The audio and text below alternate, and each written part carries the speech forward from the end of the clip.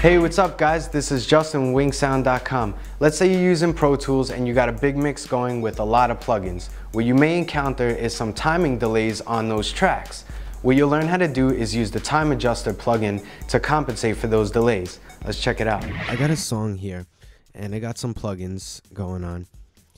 And what happens is the more and more plugins you start adding onto your session, the more your tracks are going to be delayed by samples. So this is going to throw off the timing of your tracks with each other. And when bouncing your track to disk, this isn't going to be good because things are going to be slightly off time with each other. So to find out this delayed amount, you want to go down to where it says volume, hold down command, and then two clicks will give you the delay value. So you want to do this for all your tracks. And find out which is the highest track delay. So this instrument track here is being delayed the most with 10 samples. So what you want to do is instantiate the time adjuster plugin on the rest of your tracks.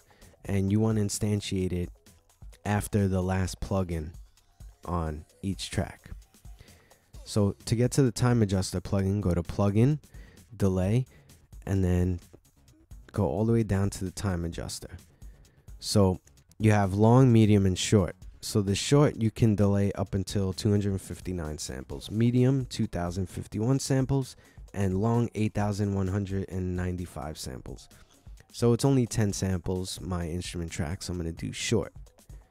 So when you open that time adjuster plugin, just go to where it says delay, and you could either double click in there and type it in, or you can adjust the little slider, little fader right here to find the right amount of samples. And then what you could do is hold down option, click on the time adjuster plugin, and then drag it to the next track so it copies the exact information. So once you do this, now all of your tracks will be delayed by those 10 samples. So now they're all going to play in time and in sync with each other, which is what you want.